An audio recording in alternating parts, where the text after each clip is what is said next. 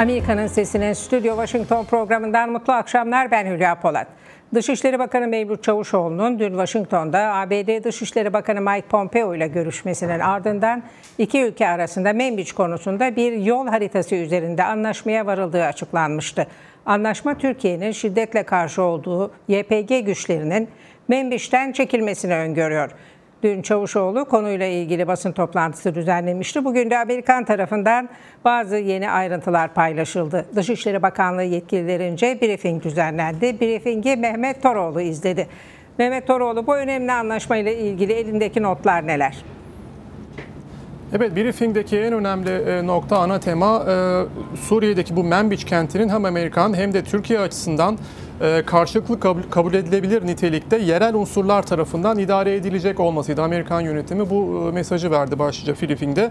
E, bu Çavuşoğlu'nun Dışişleri Bakanı Çavuşoğlu'nun dün Washington'da Amerikan Dışişleri Bakanı Mike Pompeo ile görüşmesinin ardından hatırlanacağı üzere iki ülke arasında Manbij konusunda bir yol haritası üzerinde anlaşmaya varıldığı açıklanmış. İşte bu yol haritasının ayrıntıları üzerinde ilk kez Amerikan tarafı briefing düzenledi gazetecilere. Amerikan Dışişleri Bakanlığı yetkilileri tarafından bu briefing verildi şekilde isimlerin açıklanmaması koşuluyla konuştuğu yetkililer. E, iki Dışişleri Bakanı'nın dün onayladığı bu yol haritasının e, Amerika'nın YPG'nin Fırat'ın doğusuna taşınması yönünde daha önce vermiş olduğu taahhüdü yerine getirme ve bunu da Menbiç'in güvenliği ve istikrarına katkı sağlayacak şekilde yapma yolunda geniş kapsamlı bir siyasi çerçeve anlaşması niteliğinde olduğunu belirtti. Yetkililer anlaşmanın hayata geçirilmesi sürecinde ayrıntılar üzerinde iki tarafça müzakereler yürütülmesinin gerekeceğini ve bu ayrıntılar, bu adımlar adımlar, atılacak adımlar üzerinde hem Amerikan tarafı hem de e, Türkiye tarafından kabul edilebilir olmasının e, gerekeceğini iki tarafında e, kabul etmesinin gerekeceğini kaydetti. Yetkililer e, uygulamanın takviminin e, yani e, tahmini bir takvim e, olduğunu ama e, kesin katı bir zaman e, dilimleri oluşturmadıklarını, e, bu takvimin sahadaki gelişmelere bağlı olacağını, bu süreci adım adım yürüteceklerini, aşama aşama yapacaklarını ve ama bu süreci mümkün olduğunca hızlı bir şekilde hayata geçirmek istediklerini kaydetti. MEM için işte ne kadar stratejik bir nokta olduğuna vurgu yapıldı ve bu bu anla bu bağlamda MEM işte sağlanan istikrarın nispeten şu anda görece bir istikrar olduğuna işaret ettiği yetkililer ve bu istikrarın korunmasının, sürdürülebilir kılınmasının kalıcı hale getirilmesi ve gerilimlerin e, azaltılmasının kritik e, önem taşıdığını vurguladılar ve varılan anlaşmanın da işte yol haritasının da bu e, amacın bu sürecin bir parçası olduğu ifade edildi. Anlaşma kapsamında YPG'nin Fırat Nehri'nin doğusuna taşınacağı belirtildi briefingde ve ilerleyen aşamada da kentteki e, sınır hattı boyunca e, Amerikan ve Türkiye ortak askeri devriyelerinin konuşlandırılmasının öngörüldüğünü bu süreçte e, tüm tarafların hem Amerika hem Türkiye'nin yanında sağdaki güçlerinde işbirliğinin e, kritik önem taşıdığı da vurgulandı. E, kentin idaresinden e, bundan sonraki süreçte kim sorumlu olacağı e, sorusu soruldu e, briefingde. Anlaşmanın e, yönetime müdahil olan YPG kadrolarının e, çekilmesi ve yerlerinin e, iki tarafın üzerinde mutabık kalacağı e, yerel unsurlar unsurlarla doldurulmasının öngörüldüğünü kaydetti Amerikalı yetkililer. Bu anlaşmayla e, istikrarlı bir ortamın yaratılması ve askeri operasyon gibi tehditlerin olmaması herkesin yararına olacak ifadesini kullandı. Bu süreçte hem e, NATO müttefiki Türkiye hem de Menbiç halkının güven duyduğu yerlerinden olanların e, geri dönebildiği yönetim yapılarının oluşturulması ve bu yapıların reforme edilmesinin önemine vurgu yapıldı ve nihayetinde Menbiç sokaklarının istikrarını ve güvenliğini Amerikan güçlerinin değil yerel güçlerin e, sağlanmasının tasarlandığının altı çizildi. E, şu mesajı verdi yetkililer. Anlaşmanın arkasındaki fikir amaç e, Menbiç'in Amerika ya da Türkiye tarafından devralınması değil. Menbiç halkının hem yönetim hem de güvenlik yapıları üzerinde liderliğini yeniden tesis etmesi mesajını verdiler. Bu arada Amerikan Dışişleri Bakanı Mike Pompeo da sabah IŞİD'le mücadele ile ilgili, IŞİD'le karşı başlatılan yeni bir operasyonla ilgili bir yazılı açıklama yaptı. E, Suriye Demokratik Güçlerinin ee, Irak sınırında e, Suriye'nin kuzeydoğusundaki Dahişa'da e, IŞİD teröristlerine karşı yeni operasyon başlatmasından e, memnuniyet duyduğunu belirtti Pompeo. Bu operasyonların aylardır planlandığını, IŞİD teröristlerinin kaçamaması için sınırın öte tarafındaki Irak güçleriyle yakın bir koordinasyon kurulduğunu ve Amerika'nın da planlama aşamasında bu sürece diplomatik destek sağladığını anlattı. Dışişleri Bakanlığı olarak IŞİD sonrası döneme sürece odaklanmış durumda olduklarını vurguladı. Irak hükümetinin sınırlarını IŞİD'e karşı tamamen güvenceye almasını e, sağlamaya katkı yapacaklarını vurguladı. E, ayrıca Kuzeydoğu Suriye'nin kuzeydoğusundaki e, halk içerisindeki tüm etnik grupların ülkenin geleceğinde söz sahibi olmasının önemine vurgu yaptı. Bunun için çalışacaklarını söyledi. E, önümüzdeki süreçte zorlu e, savaşlar olacak dedi. Suriye Demokratik Güçlerine desteğini e, dile getirdi. Desteğimiz tam Suriye'yi IŞİD'den temizlemek için onlarla birlikte çalışmaktan gurur duyuyoruz dedi. E, IŞİD'in yenilgiye uğratılma tamamlaması, tamamlanması için daha yapılması, atılması gereken adımlar olduğuna işaret etti. Ama bu adımları, gereken adımları atmaya kararlıyız dedi ve bir çağrıda da bulundu. E, istikrarı sağlama ve e, askeri başarıları, sağlanan askeri başarıları kalıcı e, kılma, kalıcı hale getirme çabalarının yükünü paylaşmada e, koalisyon üyeleri, bölgesel ortaklar ve müttefiklerimize çağrı yapıyoruz e, ifadesinde kullandı e, Pompeo. Evet teşekkür ediyoruz Mehmet Toroğlu bu ayrıntılar için. Ee, Mehmet Toroğlu ABD Dışişleri Bakanlığı'nın bugünkü briefingiyle ilgili bilgi verdi. Devam ediyoruz. Başkan Trump Rusya soruşturmasını ve soruşturmayı yürüten özel yetkili savcı Robert Mueller'ı Amerikan kamuoyunun özünde, önünde itibarsızlaştırmak için yürüttüğü kampanyayı hızlandırdı. Rusya'nın 2016 başkanlık seçimlerine müdahalesine, Trump'ın yakın çevresinin eylemlerine ve başkanın adaleti engelleme girişiminde bulunup bulunmadığına ilişkin kapsamlı ayrıntılar içermesi beklenen raporunu tamamlamaya odaklanan Mueller ise Trump'ın saldırılarını karşılıksız bırakıyor. Başkan Trump bir yıldan uzun süredir Rusya soruşturmasını cadı avı olarak tanımlıyor. FBI'yi siyasi emellerle 2016 seçim kampanyası içine casus sokmakla suçlayan başkan kısa süre önce bir adım daha ileri giderek Mueller'ın ekibinin Kasım'daki ara seçimlere müdahale edeceğini iddia etti. So how do you like the fact? Kampanyanıza casus sızdırdıklarını öğrenseniz ne hissederdiniz bir düşünsenize. Can you imagine? Can you imagine? Trump'ın hukuk ekibi FBI'ın o dönemde Demokrat Partili bir yönetimin idaresinde olduğunun altına çiziyor. Hükümetin rakip partinin adayıyla ilgili casusluk faaliyeti yürütmesi son derece vahim. Bu Watergate benzeri bir casusluk olayıdır. Soruşturma bu nedenle hilelidir.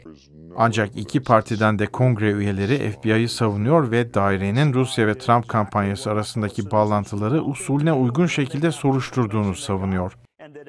Bu casusluk teorisini destekleyecek hiçbir kanıt yok. Bu sadece başkanın ortaya atıp tekrarlamak istediği bir propaganda. Fırtınanın tam ortasında yer alan özel yetkili savcı Robert Mueller ise sessiz kalmayı tercih ediyor. Özel savcının yükümlülüğü etrafında kopan gürültüye kulak tıkayıp soruşturmasını sürdürmektir. Miami Üniversitesi hukuk profesörü David Abraham'a göre Trump'ın avukatlarının çok basit bir stratejisi var. O da kafa karıştırmak. Eski belediye başkanı Giuliani'nin liderliğindeki yönetimin stratejisi ortalığı giderek daha da bulandırmak, her şeyi son derece karmaşık ve kafa karıştırıcı olarak göstermek ve kamuoyunun pes edip Rusya'nın müdahalesi hakkında kimse hiçbir şey bilmiyor demesini sağlamak. Mueller'ın Kasım ayında yapılacak ve gerek Senato gerekse Temsilciler Meclisi'nin hangi partinin kontrolüne geçeceğini belirleyecek kongre ara seçimlerinden hemen önce dikkatleri dağıtmamak amacıyla soruşturmayı Temmuz ya da Ağustos ayında tamamlaması bekleniyor. Mueller'ın nasıl bir sonuca varacağı ve Beyaz Saray'ın tepkisinin ne olacağına ilişkin spekülasyonlarsa Washington gündemini meşgul etmeyi sürdürüyor. Alparslan Esmer, Amerika'nın Sesi Washington.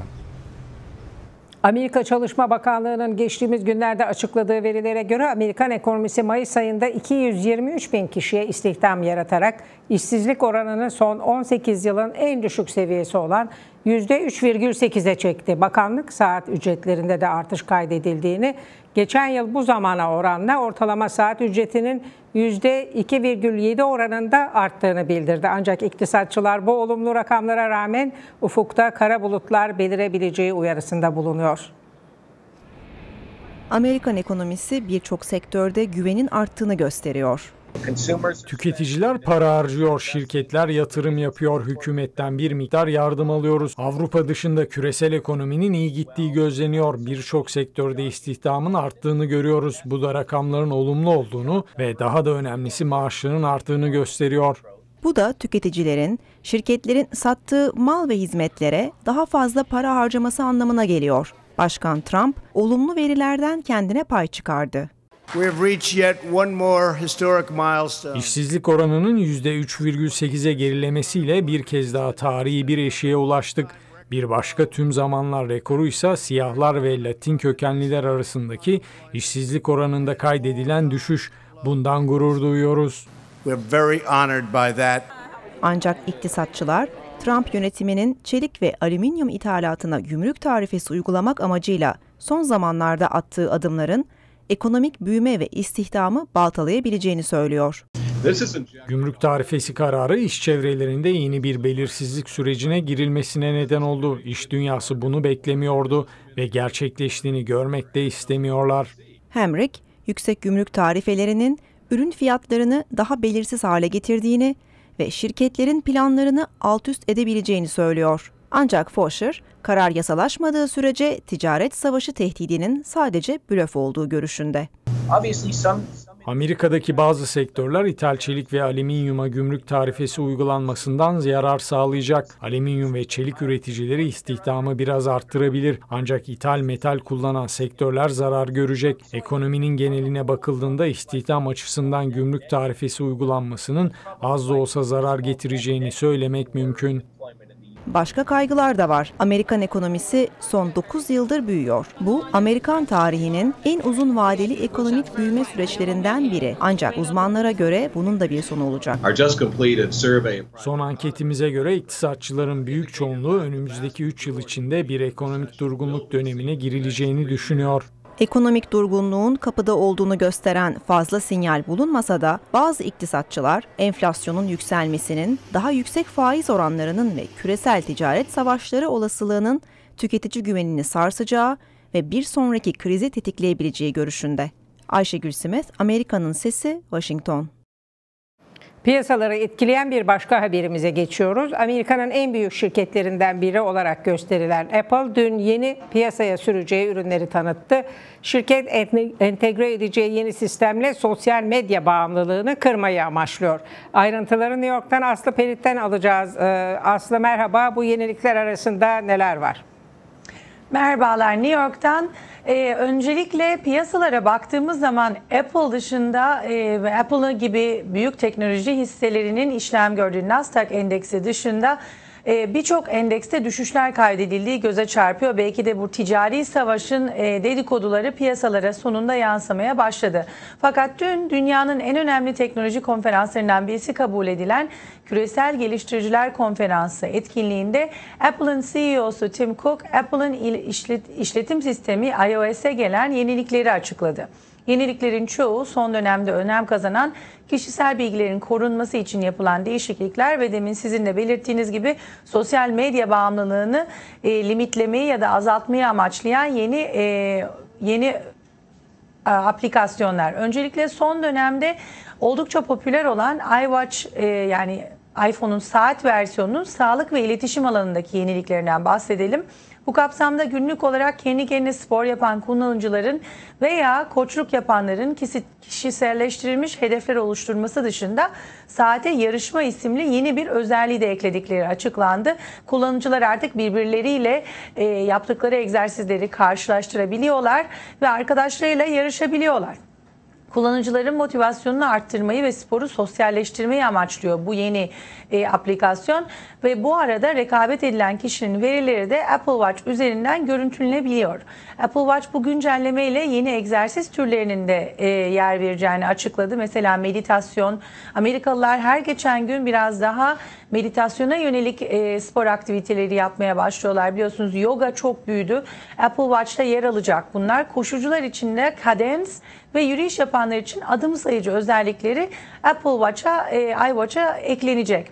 Güncelleme ile birlikte egzersiz yapmaya başladığınızda bunu algılayabilen Apple Watch otomatik olarak egzersize başlama bildirimi ve bildirimleri de sonlandırma seçenekleri sunarak sizin e, yaptığınız hareketleri yakından takip etmenizi ve e, ne kadar ilerlediğinizi gösterecek. Apple Watch'ın iletişim tarafında yapılan yenilikleri ise kullanıcıların telefonlarına olan bağlılıklarını bitirebilir. Neden? Çünkü artık televiz, e, telefon yerine Apple Watch ile mesajlaşabileceksiniz, konuşabileceksiniz. Bu akıllı telefon e, kullanıcılarını saate döndürmeye amaçlıyor kısaca Apple.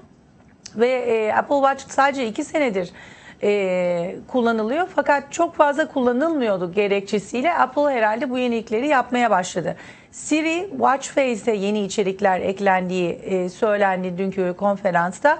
Ayrıca e, haberleri ve kalp ritmini görüntülemeniz için de yine Apple Watch'ın aplikasyonları olacak. Böylece e, aktivitelerinizi yaparken sesli komutlar üzerinden ilerleyip günlük işlerinizde bildirimler aracıyla hızlıca halledebileceksiniz. Üçüncü parti uygulama, uygulamalar da Apple Watch'ta desteklenmeye başlanacak. İnteraktif bildirimler, ödeme veya rezervasyon işlemleriniz de artık yine iWatch üzerinden yapabileceksiniz. Sesli komutlar üzerine çalışan e, saatte Hey Siri e, ibaresi de kaldırılacağı açıklandı. Apple'ın verdiği bilgilere göre ayrıca Duke, Santa Clara ve Kaliforniya'da 3 üniversite daha öğrenci kimlik kartlarını e, kaldıracak ve Apple Watch'a entegre, entegre olacaklar. Okullar sonbaharda açılır açılmaz bu özelliğin ödemelerde, kampüste ve kampüs etkinliklerinde de kullanılabileceği belirtildi. Apple ayrıca telefonlara sosyal medya bağımlılığını ortadan kaldıracak yeni bir sistem getireceğini açıkladı. Bu da şöyle, siz e, sosyal medya aplikasyonlarına yüklediğiniz bu yeni uygulamayla günde kaç saat bu uygulamaları kullanabileceğinizi kendi kendinize limitleyebileceksiniz ve bir kez e, buna karar verdikten sonra değiştirmek imkanı olmayacak. Yani en azından Apple bunu e, söylüyor. Ayrıca Apple e, Onur Haftası kapsamında yeni gökkuşağı bilekliklerini de arka e, planda piyasaya sürdüğünü duyurdu. Biliyorsunuz bir e, ay boyunca e, Amerika'da kutlanacak bu dünyaca dünyada da kutlanacak tabi ama bütün bu özellikler arasında en dikkat çekici olan özellik Apple yöneticilerinin kullanıcıların özel kişisel bilgilerini korumak üzere ürettikleri yeni gelişmeler oldu. Pazar günü hatırlarsanız Facebook'un Apple ve Samsung'un aralarında bulunduğu 60 cep telefonu üreticisine kullanıcıların kişisel bilgilerini verdiği ortaya çıkmıştı. Bu haberin ardından Apple krizi belki de sonlandırmak için bu konferans sayesinde e, gösterdikleri yeni e, aplikasyonlarla artık e, daha e, disiplinli olacaklarını göstermeye çalışıyorlar tüketici tüketicilere. Konferansta yapılan tanıtımın ardından Apple hisseleri %1'e varan bir yükseliş gerçekleştirerek Nasdaq endeksini dün yükseltmeyi başardı.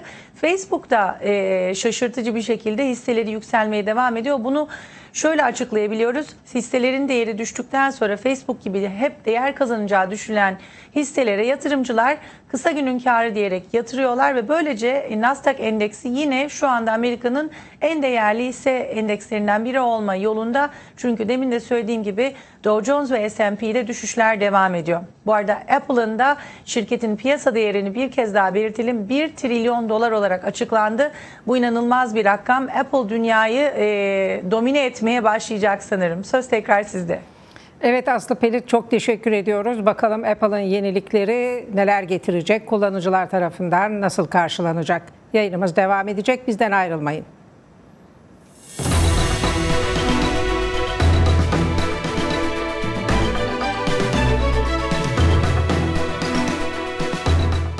Sırada Amerikan basınından özetler var. Manşetlerdeki gündem maddelerini Pınar Sayar Kızılçalı özetliyor. Hülya Polat Amerikan basın özetlerine New York Times'la başlıyoruz. New York Times, Orta Amerika ülkelerinden Guatemala'daki Fugeo yanardağının infilak etmesi sonucu en az 65 kişinin yaşamını yitirdiğini, çok sayıda kayıp olduğunu ve yetkililerin ölü sayısının artmasından kaygı duyduğunu yazıyor. Habere göre bunun nedeni arama kurtarma ekiplerinin diz boyunu aşan kül birikintileri nedeniyle yanardağın güneyindeki yerleşim birimlerine erişememiş olması.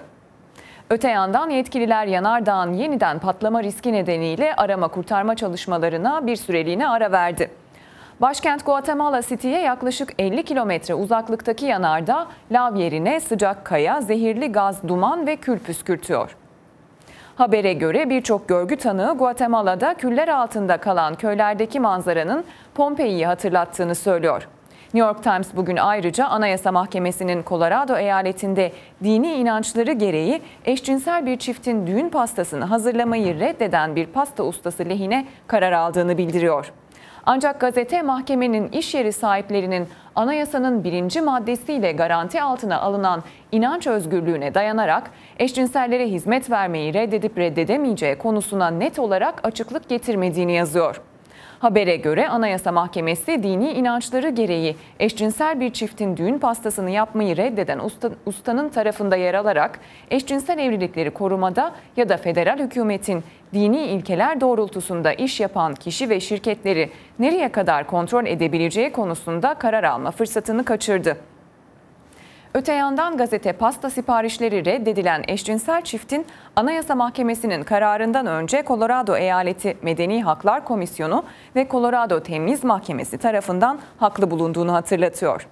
Gazeteye göre Anayasa Mahkemesi'nin pasta ustası lehine karar alması ise Medeni Haklar Komisyonu ve Temiz Mahkemesi'nin ustanın dini inançlarının samimiyetine inanmadıkları temeline dayanıyor. Washington Post'ta Trump'ın özel yetkili savcı Robert Mueller'ın yürüttüğü Rusya soruşturmasına müdahale edebileceği ve kendisi için af çıkarma yetkisi olduğuna ilişkin açıklamalarına rağmen başkanın hukuk ekibinin tüm olasılıklara karşı hazırlık yaptığını bildiriyor. Gazete Mueller'ın Trump'ın ifade vermesi için mahkeme kararı çıkarması durumunda nasıl hareket etmeleri gerektiği konusunda hummalı bir çalışma içinde olduklarını yazıyor. Habere göre Mueller'ın Trump'ı ifade vermeye çağırması uzun sürecek ve Anayasa Mahkemesi'ne kadar uzanabilecek bir hukuk savaşının patlak vermesine neden olabilir. Hukuk ekibi ise başta eski New York Belediye Başkanı Rudy Giuliani olmak üzere Mueller'la olası bir görüşme durumunda Trump'ın nasıl bir tavır takınması gerektiğini planlıyor. Planlardan biri Trump'a yakınlığıyla bilinen ve avukat olan New Jersey eyaleti eski valisi Chris Christie'nin de katılacağı provalar yapmak. Ancak gazetenin adının açıklanmasını istemeyen bir kaynaktan aldığı habere göre ön hazırlıklar Trump'ın Rusya soruşturmasına yönelik aşırı bir öfke içinde olması nedeniyle bir türlü derinlik kazanamıyor ve gelişme kaydedilemiyor. Amerikan basınından aktaracaklarımız böyleydi. Söz tekrar sizde Hülya Polat. Evet, e, teşekkürler Pınar. Hatırlatalım Amerikan basınında öne çıkan haberleri hafta içi her gün Stüdyo Washington'da izleyebilirsiniz. Yıldız Savaşları tutkunlarının daha fazla beklemesine gerek yok. Serinin en unutulmaz kahramanlarından pilot ve savaşçı Han Solo'nun gençlik yıllarını konu alan film, dünyanın dört bir yanındaki IMAX sinemalarında vizyona girdi. Film, Yıldız Savaşları'nın baş karakterlerinden Han Solo'nun Galaksi İmparatorluğu'na karşı Asi ittifakın yanında nasıl savaşmaya başladığını ve Prenses Leyla'ya evlenmesini konu alıyor. Solo bir yıldız savaşları öyküsü. Ayrıca Han Solo ve Chewbacca arasındaki dostluğun nasıl başladığını da anlatıyor. I'm going to be a pilot. Best in the galaxy. Hey, kid. I'm putting together a crew.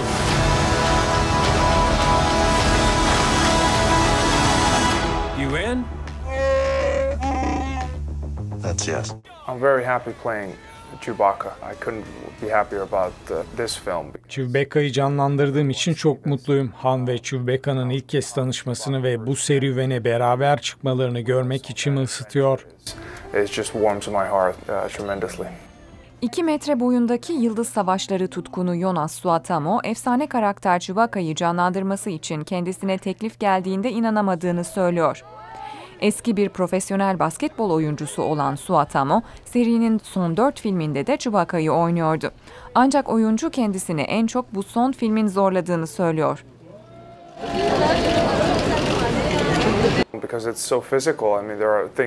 Uh, Film çok fazla fiziksel öğe içeriyordu. Chewbacca karakterinin atletik olmasını gerektiren sahneler vardı. Belirli kuralları izlemeden bunu yapmak mümkün olmayacaktı. Birçok sahne için kendi yolumu kendim belirlemem gerekti. Suotamo filmde Han Solo'nun gençliğini canlandıran genç aktör Eldon Ehrenreich'la da hemen yakınlaştıklarını söylüyor. Serinin diğer filmlerinde Solo'yu Harrison Ford canlandırıyordu. Jonas playing Chewie, who's so Chewie'yi oynayan Jonas harika bir iş çıkardı. Chewbacca kostümü içinde ne yapsa çok komikti. En komik etkiyi yaratmak için kostümü nasıl kullanması gerektiğini çok iyi biliyor. Suatamo kostümün çok ağır olduğunu ve sıcak tuttuğunu, günde 10 saati bulan çekimler sırasında üzerinde taşımak zorunda olduğu onca ağırlık nedeniyle boynunu incittiğini söylüyor. Ron Howard'ın yönettiği filmin oyuncu kadrosu oldukça güçlü. Bunlar arasında kanun kaçağı Beckett'ı canlandıran Woody Harrelson ve Solo'nun sevgilisi Kira'yı oynayan Taht Oyunları dizisinin yıldızı Emilia Clarke öne çıkıyor. Bir başka ana karakterse Solo'nun uzay aracı Millennium Şahini. Thought we were in trouble there for a second, but it's fine. We're fine. You see a lot of maneuvers and a lot of Millennium Şahini daha önce izlediğiniz Yıldız Savaşları filmlerindekinden çok daha fazla maceraya atılıyor. Ancak kimileri filmin Yıldız Savaşları serisinin son ayağı olan Son Jedi'dan sadece 5 ay sonra vizyona girmesinin bir gişe hasılatı rekorunu engelleyeceği görüşünde. Birçok eleştirmen ve sinema severe göre filmin senaryosu ise serinin orijinal öykü kurgusundan uzaklaşmış. Birkaç yıl içinde birden fazla Yıldız Savaşları'nın birden vizyona girmesinin izleyicileri bıktırmış olabileceği düşünülüyor. It's true. Let go of the mean man's face. I love the Star Wars. Yıldız Savaşları serisini, hikayeleri ve bu filmleri çok seviyorum. Yıldız Savaşları tutkunu olmak için bundan iyi zaman yok. Jonas Suatamo ise bu kaygıları paylaşmıyor. Pınar Sayar Kızılçalı, Amerika'nın Sesi Washington.